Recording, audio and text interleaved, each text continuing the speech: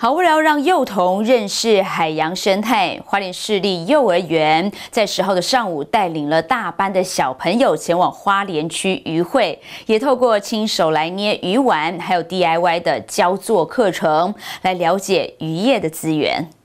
花莲市立幼儿园大班小朋友十号上午开心的搭乘游览车来到了花莲区域会大楼，要体验鱼丸 DIY。这是幼儿园为了增进小朋友们海洋生态保育观念所安排的户外教学课程。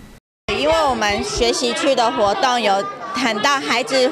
发现孩子自从去了海洋公园之后，对海洋生物很有兴趣，所以老师安排了这次花莲区渔会的体验。那体验的内容有鱼丸的制作，然后风铃制作，还有让他们认识大自然，就是大自然生态的奥妙，然后也也爱护环境。在过程中，就是孩子里面会认识一下渔港的整个操作内容，然后渔港里面有什么，然后我们的。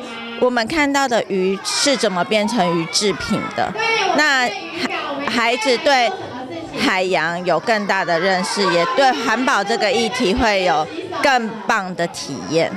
在区域会辅导员的带领之下，小朋友们戴着手套沾油捏鱼丸、切鱼丸。每个人捏的鱼丸大小、形状都不相同。在欢笑嬉闹过程中，小朋友们认识了海洋鱼类及好吃鱼丸制作方法。一百二十位大班小朋友捏鱼丸、彩绘风铃，还有动手做鱼标，以及到冷冻库来体验，并且认识常见鱼种等。有趣、好玩又富含知识的教学课程，让小朋友们收获良多。这里会万事报道。